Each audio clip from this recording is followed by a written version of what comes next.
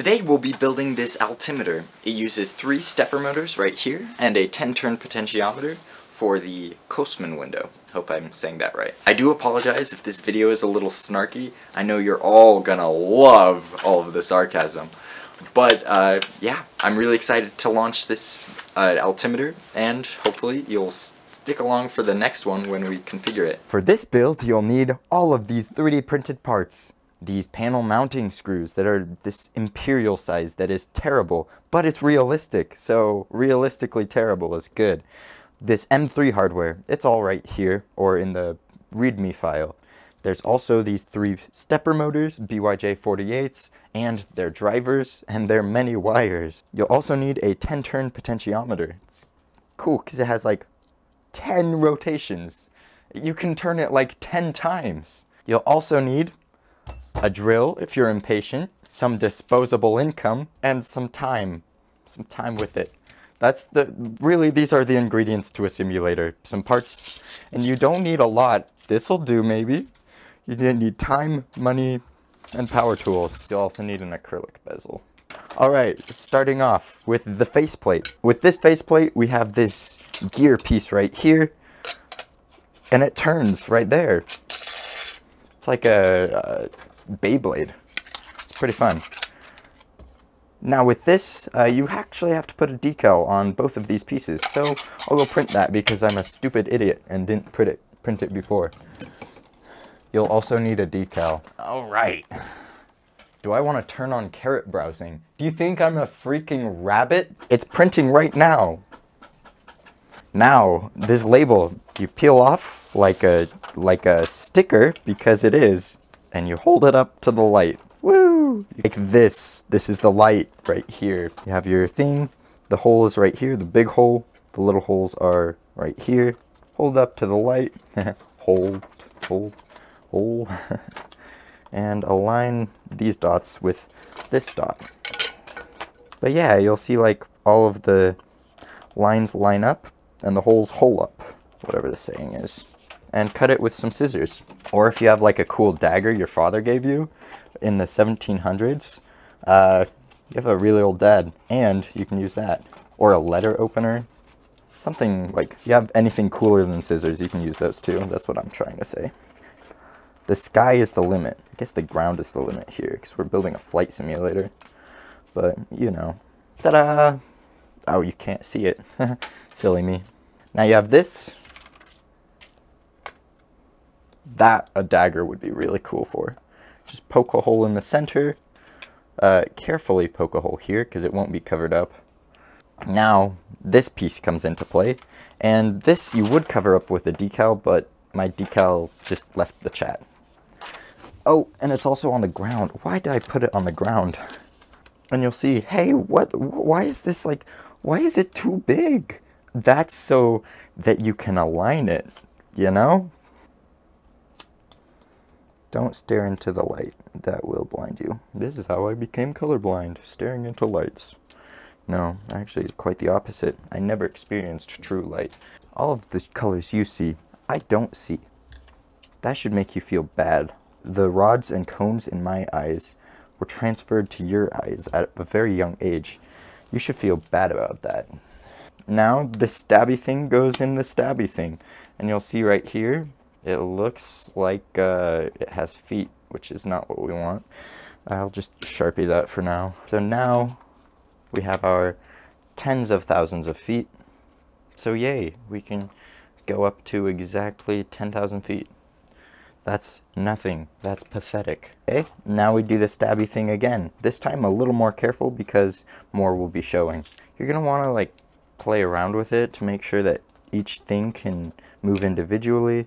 You might even consider like uh, carving out all of the extra stuff. Just be careful to make, not make it look absolutely horrendous because your altimeter will look like this forever. Like the stakes are high. Now on the faceplate, you have all of these needles telescoping like a freaking telescope. And now you have this number card right here. So line it up, hold it up to the light. I won't show you because I'm sick of my footage becoming all grainy and crappy. But, uh, yeah, that looks centered.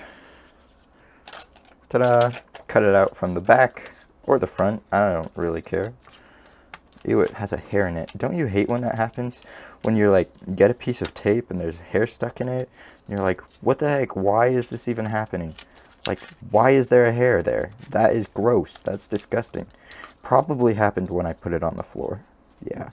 Filming this, always, I always present myself in a way that makes it look like I'm a person who has everything all together. But I'm not. So, not always. Today has been a weird day. I had my DiffyQ test tomorrow, or yesterday. See, like, something like that. I said yesterday, or tomorrow, or messed it up, you know? But, something exciting is, I don't have another DiffyQ test uh, for the rest of my life. I won't ever have a math test, like, ever again. This is the last one. Unless I go on to be a math major, which I don't think is a good idea because math is actually evil. We might want to clean up our altimeter setting window and the fact that it's completely ugly. That doesn't help. Yeah, using your like grandfather's dagger would be way cooler than this, but we can't win them all. The decal isn't very aligned because I changed the positioning of this window uh, in my CAD model since I printed either the decal or the uh, this faceplate. So I'll show you what it looks like in CAD, what it's supposed to look like, confirm it actually will look like that before the end of the video, and we'll be good to go. Let's move on. The best thing to do in most situations. Now we have this bezel right here. We have a piece of acrylic glass that I cut.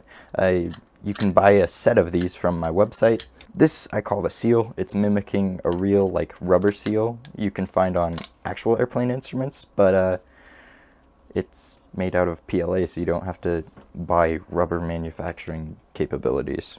Woohoo! Now we have a hole right here. Stab at the hole. And you have this thing right here. This piece put it through that hole, put it through that hole. Make sure to put all your gears in, and voila.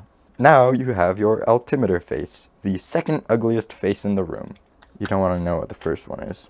Now you can see that the numbers change whenever you change them, and these should rotate uh, independently. Now we have these gears. There's one with a big hole. The big hole goes right here on first, and that rotates the 10,000 feet right here. Slightly smaller hole goes on the sm slightly smaller uh, needle thing. Make sure to calibrate your printer so that 20 millimeters is actually 20 millimeters, you know? If it's not, then my model will be off because your printer is off. Just as a general tip, uh, especially if, if you're just assembling one, if you have if it's too loose, add glue. If it's too tight, sand it off. I don't know, that sounds obvious, but whatever. Everyone's just gonna complain about how sucky this tutorial is. And I'll be like, yeah, it's sucky. Suck it. You know what? You make the YouTube videos. You spend hours of your life designing. Okay, so we have the front part assembled. Ta-da! Now, Let's move this off to the side and get the back part assembled. This is where you need the drill and or the time and a screwdriver. Pick your combo. Also, what's with all the hardware in the background? That's just crappy. No effort November in April. Okay, you really do actually have to edit this because you've said a lot of offensive jokes. Like really offensive. These screws just tap into the plastic. You might need to take your time. Stop and smell the roses. When's the last time you smelled a rose? Like, really, when? We all, like, say we're, like, oh, taking time for ourselves. But, like, when have you gone outside and said, wow, this is a beautiful day? It's freaking beautiful outside, but I'm inside here complaining about how beautiful it is outside. I don't know, maybe I'll take a walk. I want it just to all be easy, but it's so hard to make everything easy. You know?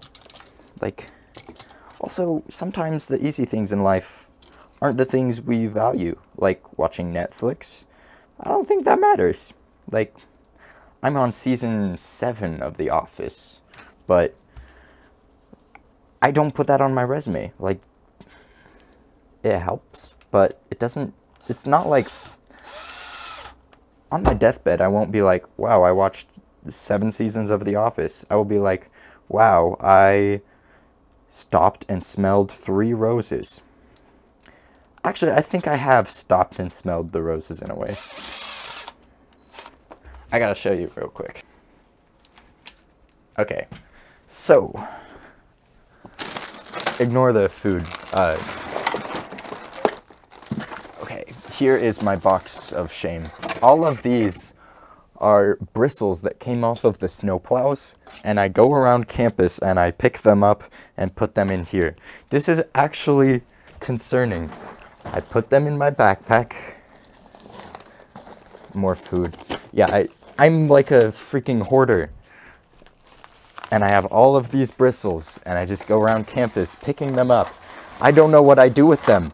Here's my collection. Oh, I've Oh, lead for the protractor. Let's go. This is my hobby. This is the only thing I have. I pick up sticks in the ground. Okay, let's go back. Here are the steppers.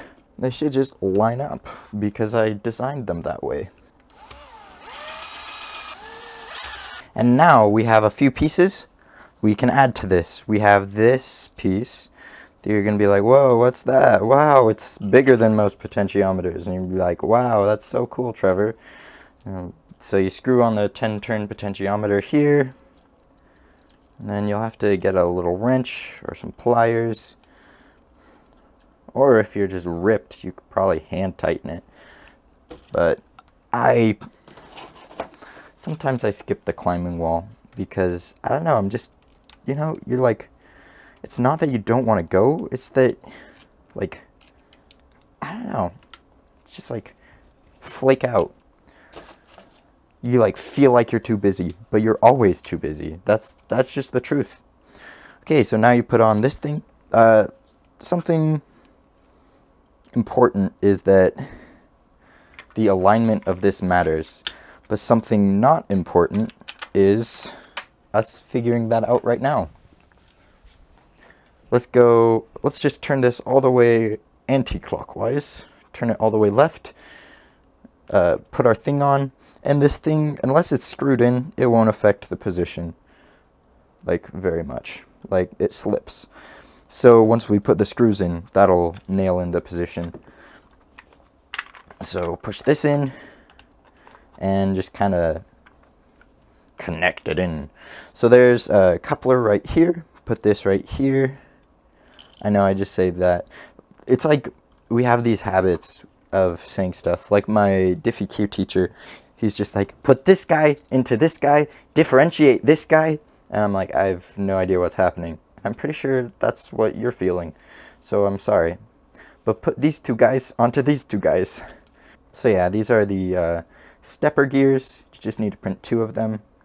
And then this is the coupler. And it might be easier to do this without the bezel so you can thump it in with your thumb.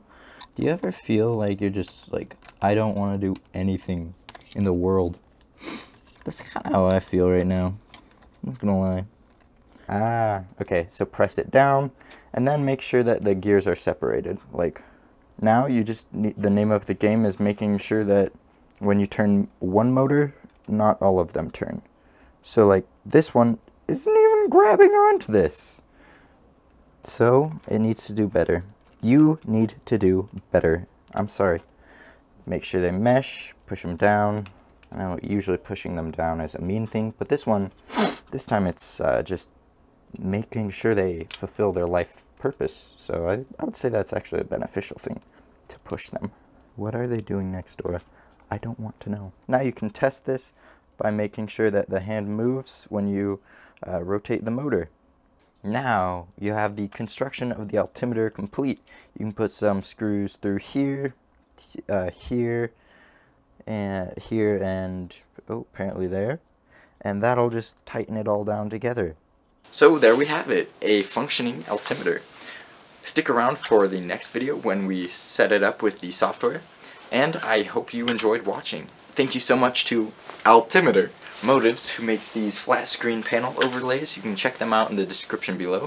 Thank you so much to all of the patrons who help fund the development of projects like this and this. and thank you so much to you for watching. Have a fantabulous rest of your day and stay spicy. I gotta update you on the sticks. There are quite a bit more.